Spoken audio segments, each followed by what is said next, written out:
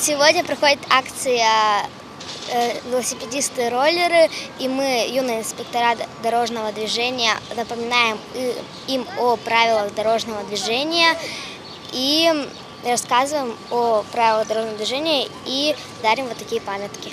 Также смотрите, помимо вас еще двигаются также вот пешеходы, дети маленькие бегают. То есть их не сбиваем, контролируем, что происходит рядом.